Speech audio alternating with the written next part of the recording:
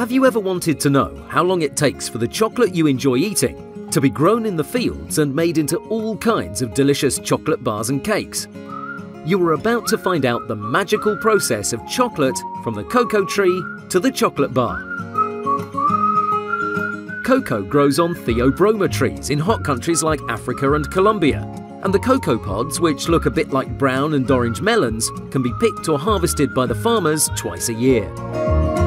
These pods are sliced open using a large knife, and the white mushy beans inside are taken out and put into large wooden crates to be fermented. This is the start of the flavours which you recognise as chocolate beginning to develop. This step, called fermentation, takes around six days.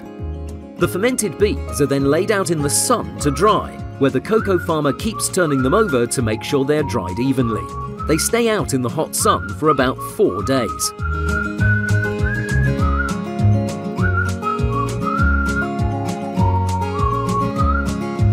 The dried beans are placed in sacks and taken to a sorting warehouse, where they're carefully checked to make sure they're of a good quality.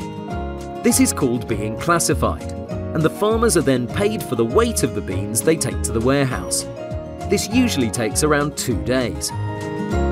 From here, the beans travel to the processing factory, and with the use of lots of big machines, each bean is roasted. Depending on the origin of the bean, the time and the temperature will change.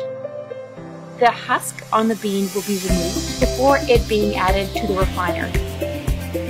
Our chocolate is refined for three days, so it is a very long process, and through friction, the cacao becomes liquid.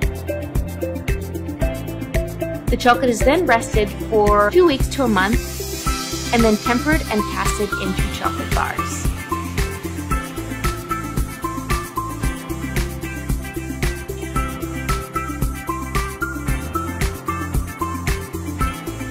Each bar is then demolded by hand